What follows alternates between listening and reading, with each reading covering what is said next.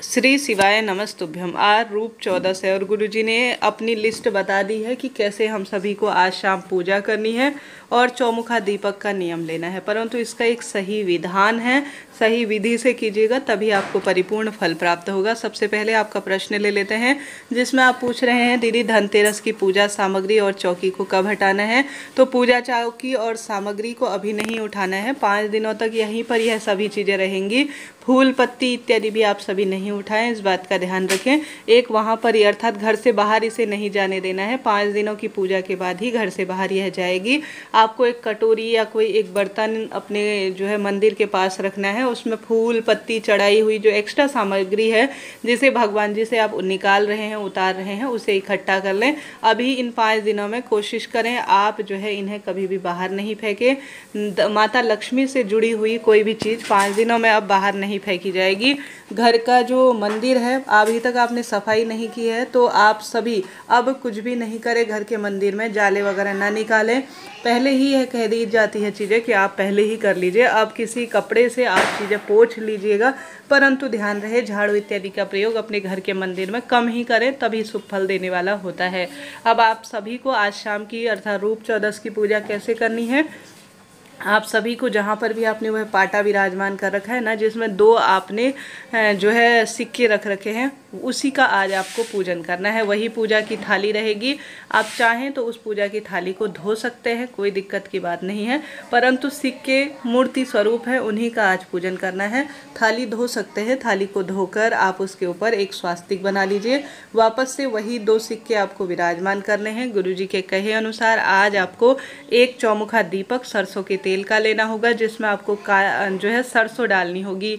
पीली सरसों है तो पीली डाल लीजिए, नहीं तो आप जो है काली सरसों का भी प्रयोग कर सकते हैं। इसमें विशेष तौर पर आपको सरसों के तेल का ही दीपक लगाना होगा। इस चीज़ को आप नोट करते हुए चलिएगा, ठीक है? सरसों का तेल ही डालना है और इसे जो है आपको पूजा स्थल पर रखना है। अभी तो गुरु ने जो लिस्ट बताई है, उसमें एक घी के दीपक का कम बता रखा है, परंतु एक दूसरा गुरु ने अपनी कथा हुई थी तो उसमें बताया था कि हमें एक घी का दीपक भी साथ के साथ लगाना है। सरसों का तेल का जो दीपक होगा, वह भगवान जी के अर्थात जो दो सिक्के हैं, उनके बाई तरफ़ लगाया जाएगा और जो घी का दीपक है, वह भगवान जी के दाहिनी तरफ़ लगाया जाएगा, ठीक है? अब शाम को पूजा कैसे करनी होती है, स्वास्तिक बना लेना है, उसके ऊपर दो सिक्के रखने हैं और आपके पास गुरुजी ने कहा है, हल्दी, रोली, अबीर, गुलाब, गुलाल, मौली इत्यादि से आपको पूजन करना है। पूजा में हल्दी जो है आपको हल्दी की गांठ पाँच समर्पित करनी है, पाँच कमलगट्टा समर्पित करना है और पाँच ही आपको अमरबेल समर्पित करना है।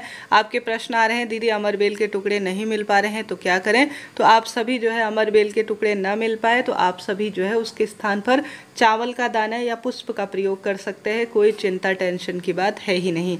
अब आप सभी को वहाँ पर जो है, आप सभी इसके साथ साथ हल्दी कुमकुम कैसे समर्पित करनी है, अपने हाथों को आपको लेना है, दोनों हाथों को, उनमें हल्दी और कुमकुम। एक हाथ से नहीं, दोनों हाथ से पहले हल्दी समर्पित करें पाँच बार, साथ के साथ जो कुमकुम होती है, दोनों सिक्कों में उसे समर्पित करें और अपने दोनों हाथों से कमलगट्टा अमरबेल के टुकड़े, हल्दी की गांठ या पाँच पाँच की संख्या में आपको समर्पित करनी है।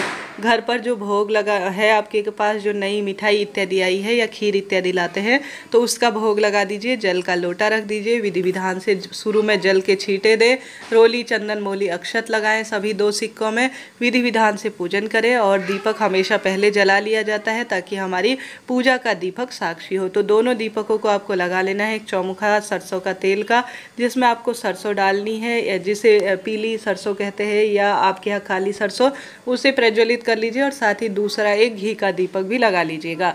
अब देखिए, पूजा स्थल पर खाली तो आप रखेंगे नहीं, घी का दीपक ज़रूर से लगाइएगा। अब आपको जो आपने चौमुखा दीपक लिया है ना, विधि विधान से पूजन हो जाने के बाद, सारी चीज़ें समर्पित करने के बाद, भोग प्रसाद संपूर्ण कार्य कर लेने के बाद, भूल चूक के लिए क्षमा प्रार्थी होने के बाद कि हे कुबेर जी महाराज, हे माता लक्ष्मी, हे गणेश जी महाराज, हे काली चौदस भी आज कहा जाता है। रूप चौदस, हे माता रानी के सुंदर स्वरूप, मेरे घर परिवार में समृद्धि देना, खुशियाँ देना, बरकत देना, ऐसी प्रार्थना करते हुए आप सभी को क्या करना है कि जो चौमुखा दीपक है ना, जिसमें आपने सरसों का तेल और पीली सरसों मिला रखी है, आप सभी को माता लक्ष्मी की जो दो सिक्के हैं, उनकी पूरी तरह से आरती कर लेनी है और उस दीपक को पूरे घर में भी आपको घुमाना है। इस चीज़ का ध्यान रखिएगा। खिड़की दरवाजे गुरुजी ने कहा है, खोल देना है और आप सभी को इसे ले जाकर पूरे घर में घुमाना है। इस बात का ध्यान रखें। और आप सभी को इसे घर के दरवाजे पर प्रज्वलित कर देना है। स्क्रीन पर आप देख पा रहे होंगे, परंतु किसी कारण से घर का दरवाज़ा, मुख्य दरवाजे पर आपको जलाना है, इस बात का ध्यान रखें। घर के दरवाजे के बीचों बीच गुरुजी ने कह रखा है, परंतु ऐसा संभव नहीं है कि घर के दरवाजे के बीचों बीच देखिए, सबका बड़ा गेट नहीं होता दो तीन गेट घर के दरवाजे पर नहीं लगे रहते हैं। घर का मुख्य दरवाज़ा एक ही होता है तो वहाँ से आना जाना लगा रहता है लोगों का। तो कोई दुर्घटना इत्यादि भी हो सकती है। ऐसे में आप मुख्य दरवाजे के बीचों बीच में नहीं लगा सकते तो किनारे की तरफ़ लगा लेंगे तो भी यह पर्याप्त रहेगा। शुभ फलों की प्राप्ति में सहायक होगा। सुबह इस दीपक को ले जाकर आप जो है किसी भी कचरे इत्यादि के स्थान पर फेंक दीजिए, इसका दोबारा प्रयोग ना लीजिएगा, क्योंकि आज के दिन कई लोग इसे यम दीपक भी लगाते हैं और यह दीपक घर में आपने घुमा रखा है और साथ के साथ इसमें सरसों का प्रयोग हो रखा है तो आप सभी इसे जो है विसर्जित कर देंगे तो ज़्यादा शुभ और श्रेष्ठ फलों की प्राप्ति रहेगी। गुरु जी कहते हैं, अगर जब तक चौमुखा दीपक प्रज्वलित होता रहता है, तब तक आप सभी को कोई भी पैसों का लेन देन नहीं करना है। पैसों का लेन देन तो हम शाम के समय करते नहीं हैं सभी जो जानकार व्यक्ति होते हैं साथ के साथ दूध दही इत्यादि भी धनिया इत्यादि भी इन दिनों देना शुभ और श्रेष्ठ फलों की प्राप्ति में सहायक नहीं होता आप जानते होंगे। तो इस चीज़ का भी आप ध्यान रखते हुए कार्य कीजिएगा। इसके साथ साथ आज का सबसे श्रेष्ठ दिन है जितना संभव हो दीपक का दान करें और भाग्य की रेखाओं को प्रबल करें। ले चले। इस तरह से आपके यहाँ सवाल आ रहे हैं। साथ के साथ आपके प्रश्नों को ले लेते हैं। आपके तो सवाल आ रहे हैं कि दीदी हम सभी जो सामग्री है उसका क्या करें? तो आप सभी को बताते चलो अभी उस सामग्री का कुछ भी नहीं करना।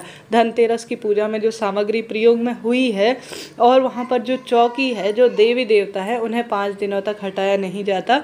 वहीं वहीं पर वह विराजमान रहेंगे। जब अंतिम दिन होगा तो उसमें से आप सभी अमरबेल कमल गट्टे इन सभी चीज़ों को जो है अपने घर की तिजोरी में लाल कपड़े में बात कर रख लेंगे और अन्य चीज़ें जो है विसर्जित कर देंगे। इसका विस्तार से वीडियो दूँगी, पर अभी आप ध्यान रखिएगा, कोई भी चीज़ आपको कहीं भी रखनी नहीं है, कहीं भी आपको वो नहीं करना परेशान तो आप जहाँ जो चीज़ें हैं उसे वहीं पर रखे रहने दें और चिंता, टेंशन कोई भी चीज़ की ना करें। साथ के साथ पिछले साल की जो धन जो सामग्री है, जो आपने गुरु जी के कहे अनुसार पूजा की थी कमल गट्टे इत्यादि की तो वह कैसे कहाँ रखना है तो उन्हें आप कई बार प्रयोग में ले सकते हैं। यह चीज़ें कभी भी अपवित्र नहीं होती। फूल, फल तो अपवित्र हो जाते हैं, परंतु प्रयोग में ली हुई कमलगट्टा, कौड़ी, सुपारी कई बार प्रयोग में ली जाती है। यह पेड़ों के या फलों के बीज होते हैं, जिन्हें कभी भी अपवित्र अर्थात जूठा नहीं माना जाता तो इन्हें कई बार आप प्रयोग में ले सकते हैं। तो चिंता, टेंशन की कोई बात नहीं है। आपके कोई भी अभी भी प्रश्न हो तो आप कमेंट्स में पूछ लीजिएगा। कल सभी सवालों का जवाब मैं दे दूँगी। तो इस तरह से आपको आज शाम की पूजा रखनी है। सुंदर, सुसज्जित अवस्था में तैयार हुई आज उपटन लगाइए। रूप चौदस है। बहुत अच्छी अवस्था में अपना साज श्रृंगार करें। सुंदर अवस्था में तैयार हो जाइए। बुधवार का दिन भी है आज और नाखून वगैरह काट सकते हैं, बाल काट सकते हैं और महिला पुरुषों को आज सुंदर अवस्था में सोना, चांदी, सुंदर कम पहने परंतु अच्छी अवस्था में तैयार होकर रहना चाहिए इससे धन लक्ष्मी का आगमन होता है और परिवार में बरकत बनी रहती है। इन दो दीप दानों के अलावा जो घी का दीपक जहाँ पूजा स्थल है, वहाँ पर तो लगाना ही है, अखंड नहीं लगाना है, सामान्य आपको रखना है, ठीक है? चिंता, टेंशन की बात नहीं है। जितनी देर यह प्रज्वलित होता रहे, उतना अच्छा रहता है। तो आप सभी को इसे छोड़ देना है ऐसे का ऐसे ही, और विधि विधान से आज की पूजा संपन्न करनी है।